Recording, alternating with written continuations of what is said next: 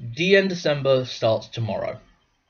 And with my channel making the transition from board games to Dungeons and Dragons videos and tabletop role playing content, I thought it would be a great chance for me to join in something I've wanted to do for years. I love tabletop role playing games, and Dungeons and Dragons is actually a relatively new hobby to me compared to most tabletop role playing games.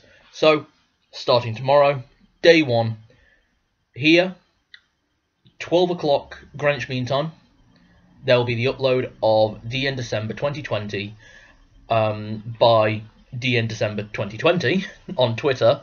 That's where I got this list from for the first prompt, and every day from the 1st of December to the 31st of December, 12 o'clock Greenwich Mean Time, here.